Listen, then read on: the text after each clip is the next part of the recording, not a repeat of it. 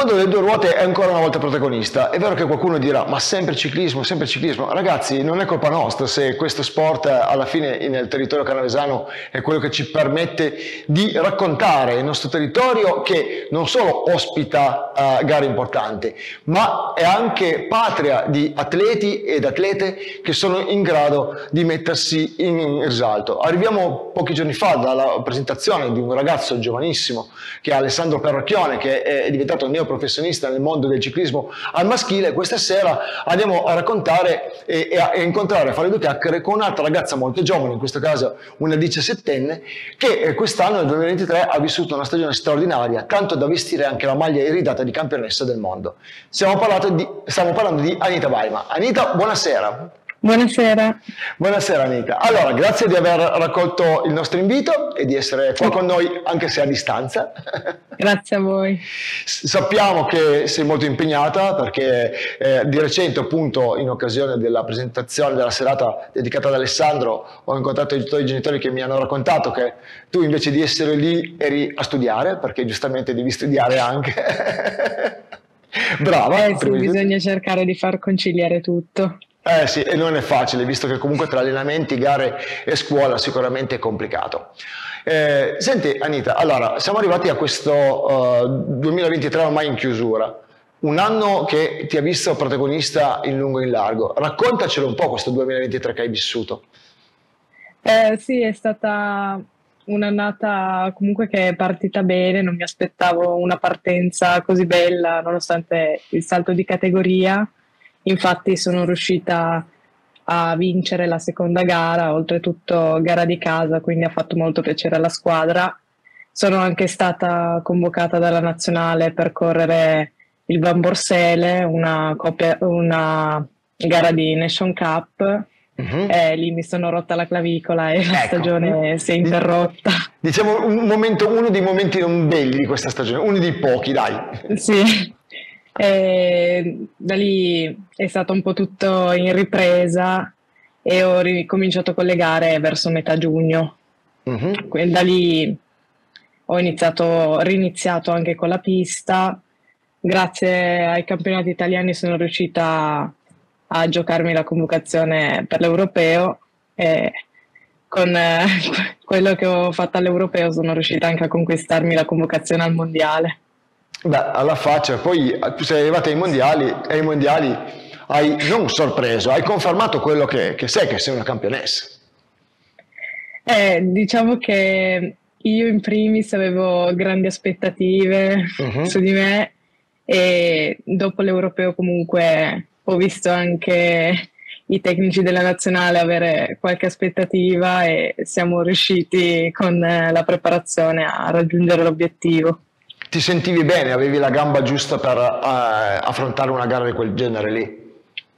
Uh, sì, sentivo di aver ripreso comunque le forze, poi in pista essendo gare corte non mi serviva il fondo uh-huh. necessario che comunque avevo perso tramite l'infortunio e sono riuscita a dare il meglio in quella che comunque è un po' la mia specialità, quindi l'eliminazione. Certo, ma uh, che emozione hai provato? Perché diventare campionessa del mondo, allora campionessa italiana, tu hai indossato in più un'occasione la maglia tricolore nella tua carriera. In, in, carriera sei giovanissima, ma è già una carriera diciamo importante, il tuo palmarès è già ricco. Ma che cosa si prova a, a essere sul, sul tetto del mondo, la più forte al mondo? Eh, diciamo che è un'emozione indescrivibile, ancora adesso a volte non me, re- non me ne rendo bene conto, cioè dico sì ho vinto il mondiale ma non, a volte non connetto che comunque quel giorno sono stata la più forte al mondo. Beh, brava perché poi quando è arrivata la notizia praticamente immediatamente anche eh, qua in Caravese eh, ci siamo scatenati tutti perché effettivamente, eh, ripeto, abbiamo degli atleti e delle atlete molto bravi, però effettivamente in questo caso una campionessa del mondo ci riempie d'orgoglio anche noi, dai, siamo contenti. Grazie. Grazie a voi. Ci, ci hai fatto veramente un bel regalo. Senti, raccontaci un po' anche di, appunto, eh, tu eh, hai cambiato squadra, nuova società quest'anno, com'è stato questo cambiamento, come ti sei trovato e quali saranno uh, quelli che sono, diciamo così, mh, le basi per il 2024? Eh, sì, io da, l'anno scorso ho cambiato società, mi sono trovata subito bene anche perché comunque un direttore sportivo lo conoscevo già tramite la pista, Stefano mm-hmm. Peretti che è sempre stato tecnico del Piemonte uh-huh. e comunque un bellissimo ambiente dove siamo molto seguite e non ci fanno mancare nulla. Siete chiamate e... le panterine, giusto? Sì, perché lo sponsor principale è la BFT Burzoni che ha come logo una pantera. Infatti ti, ti chiamo, ho visto che in più di un'occasione molti miei colleghi ti, chiama, ti hanno chiamato, ti hanno definito la panterina ciriacese. Qualcuno sì. ti, ha, ti, ha, ti ha definito anche la ganna del canavese. Questa non l'avevo sentita. Oh, però... guarda, l'ho, l'ho, trovato, l'ho, ho trovato su internet, se cerchi ti troverai anche come Gunner Canavese. No, ma eh, ti, ti, faccio questa domanda anche un po' a, a mo' di battuta, ma anche in maniera seria. Nel senso che eh, tutte queste anche, ci sono delle pressioni, cioè ti senti, senti delle pressioni eh, crescenti su di te o l'ambiente ti sta permettendo di esprimerti come meglio sai e come mo- meglio puoi? No, diciamo che tutti stanno cercando di non mettermi pressioni addosso e mi sento comunque libera di fare quello che riesco nel massimo del possibile. Eh, senti, eh, ti sei avvicinato, allora, lo sport del ciclismo, mh, mm, diciamo che non è uno sport, ci sono tante donne naturalmente che lo fanno, ma in canavese non è propriamente eh, una disciplina che abbia tantissime atlete, anzi sono veramente poche, anche a, a tutti i livelli, sia adulti che giovani.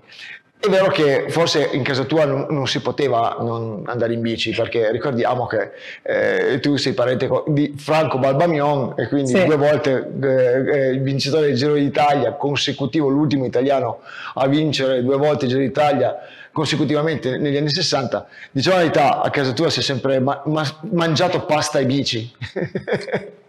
Sì, diciamo dalla parte di mio padre sì, dalla parte di mia madre invece no. Nessuno in realtà mi ha mai spinto a fare ciclismo, solo che io a tre anni mi ero intestardita che dovevo imparare ad andare in bici senza rotelle. A tre anni e mezzo da sola ce l'ho fatta e i miei cugini correvano in bici e mio zio ha detto perché non provare a fare la gara promozionale di Cantoira. Ok. E ero, ero la più piccolina a correre, mi sembra che ero anche arrivata ultima, però mi avevano premiato appunto perché ero la più piccola, dandomi un pacchetto di patatine e io ho deciso di iniziare ad andare in bici. Beh, guarda, bell'incentivo, eh? alla fine dei conti ci sono, sai, si dice il mondo del professionismo, i soldi, eccetera, un bel pacchetto di patatine, spettacolo. Io ero contenta del premio. Bene, tanto, tanto tu eh, sei appunto, uh, fai pista ma fai anche strada e ti chiedo qual è, qual è la, tra le due specialità quella che eh, preferisci o secondo te ti si addice di più? Ma diciamo per adesso mh, mm, quest'anno mi ha dato più soddisfazioni la pista, però io penso che siano importanti entrambe, mi piacciono entrambe comunque allo stesso modo, uh-huh. quindi io vorrei sempre affiancare entrambe durante la mia carriera. Ma quindi dobbiamo aspettarci, non ce, te l'auguriamo, un giorno di vederti uh, al Giro d'Italia femminile, Tour de France femminile, a fare un campionato del mondo uh, donne anche in strada? Eh sì, sarebbe davvero un sogno. Ma però dai, alla fine dei conti un primo sogno sicuramente l'hai realizzato perché ah, Giovannese sì. eh, diventare campionessa del, del, mondo a 17 anni nella disciplina che, che che, che, ti piace, nello sport che pratichi con, con, passione è sicuramente importante. Però ti chiedo anche, appunto, tu sei, eh, dicevamo prima che eh, sei una studentessa, quanto anche è, è, difficile o complicato o quanto invece non è così difficile riuscire a coniugare le due cose, perché eh, l'importante è lo, stu- eh, lo studio è fondamentale, perché la speranza di vederti appunto professionista, però è anche vero che eh, nella vita non si sa mai e quindi si può prendere anche strade diverse. Quanto secondo te è anche è fondamentale nella tua vita impegnarsi e studiare. Eh, sì, per me, secondo me è fondamentale comunque impegnarsi nello studio perché gli eventi della vita sono infiniti quindi non si sa mai, bisogna sempre crearsi un piano B. Uh-huh. E comunque conciliare le due attività non è impossibile, ma non è anche semplicissimo. Quindi bisogna sempre ottimizzare i tempi, ad esempio io mangio a scuola per poi arrivare a casa, allenarmi subito, tornare a studiare, e quella è un po' la mia routine giornaliera. Ma eh, ti faccio una battuta, ma riesci a dormire, avere una vita normale, amicizie? No, sì, per assurdo vado anche sempre a dormire abbastanza presto perché non fermandomi un attimo durante la giornata diventa difficile poi stare svegli fino a tardi. No, mi, mi, mi, piace molto, se mi permetti, mi è molto piaciuta la risposta che hai dato della questione piano B, del fatto comunque della vita, perché eh, nonostante tu abbia solo 17 anni, quindi una vita tutta davanti, però mi sembra di capire, credo che tu ci faccia capire che hai le idee ben chiare di quello che vuoi sì. fare e di quello che vuoi essere. Eh, tra l'altro, eventualmente, visto che appunto adesso stai finendo le superiori, ma hai già un'idea di, di, di, di cosa vorrei fare, eventualmente se vorrei fare l'università, eventualmente quale percorso vorrei fare? Eh, vabbè, l'università di sicuro lavoro fare, del percorso sono ancora un po' indecisa. Diciamo Beh. che sono in quarto, ho ancora un po' di tempo per pensarci. No, è presto, è presto. Però sai, visto che appunto sei talmente deciso nelle tue cose, mm. anche nelle risposte, che tante volte sai, dici, beh, ok, voglio fare, voglio diventare avvocato, magistrato, medico e tutto, viene naturale chiedertelo, solo per questo. Sì, sì. Senti, naturalmente eh, abbiamo parlato di appunto eh, l'anno prossimo 2024 eh, ci sarà nuova stagione, eh, c'è una gara in particolare a cui punti o comunque c'è qualcosa a cui punti per l'anno prossimo e cosa non da poco, eh, qual è il sogno nel cassetto di Anita Baima? Eh, ma diciamo che per il prossimo anno punterei nel riconfermarmi mm-hmm. su pista e vorrei cercare di fare qualcosa di più su strada. Uh-huh. E, il mio sogno nel cassetto se puoi dirlo, se vuoi dircelo, eh, perché non vogliamo... Se sei scaramantica possiamo anche non dirlo. Eh, io sono un po' scaramantica, allora, quindi preferirei non dirlo. No, no, no, ma allora, lo so, perché comunque nel mondo dello sport e anche boh, nella vita di tutti i giorni, eh, anche un po' di scaramanzia non, non, fa male. Però effettivamente, allora, facciamo così, ne riparliamo eventualmente quando il sogno diventa realtà, eh, ok? Va bene. Tra qualche anno ci rivediamo, ci risentiamo e intanto continuiamo a seguirti e ti facciamo veramente un grande in bocca al lupo. Grazie. Eh, perché comunque hai, ripeto, ci hai entusiasmato e credo che stai continuando comunque a, a dimostrare che eh, il percorso che hai fatto e stai facendo è effettivamente un percorso giusto, perché l'impegno, i risultati, la, la capacità anche di, di, stare in bici, perché eh, non, è, non, è, cosa da tutti i giorni quella che, che, che, stai, che stai, facendo. In, in, siamo giunti a, in chiusura, però naturalmente ti chiedo, eh, hai qualche ringraziamento particolare da fare? Fare al di là di questo de, per quanto riguarda il risultato, in generale per quello che è la tua carriera e la tua vita attuale? In generale tutto questo non sarebbe stato possibile senza l'appoggio dei miei genitori che mm. fino a quando ero piccola hanno fatto di tutto per portarmi in giro per l'Italia a fare le gare. Immagino che non sia stato per loro, eh, forse tu avevi un'altra cosa su cui essere eh, concentrata, ma essere a distanza mentre tu correvi dall'altra parte del mondo, perché il campionato del mondo è stato in Colombia, giusto? Sì, eh, eh, loro mi guardavano, eh, mi hanno guardato in tutte le gare, quindi quando ho corso l'eliminazione alle tre di notte erano lì che guardavano la gara.